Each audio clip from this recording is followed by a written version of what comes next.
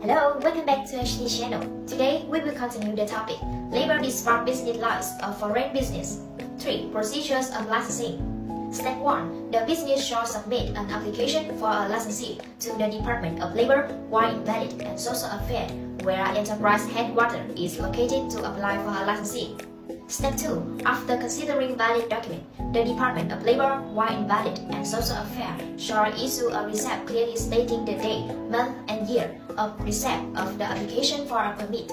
Step 3. Within 20 working days from the day of receipt of the skill application and prescribed, the Department of Labor, War invalid and Social Affairs, shall verify and submit it to the chairman of Provincial People's Committee for issuance of a licensee to the enterprise.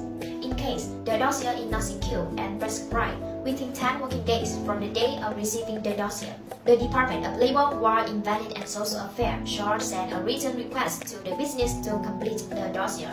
Step 4. Within 7 working days from the day of receiving dossier submitted by the Department of Labor, Invalid and Social Affairs, the chairman of Provincial People's Committee shall consider and grant the licensee to the business. In case the licensee is not granted, the business shall be received documents stating the reason for not granting the licensee.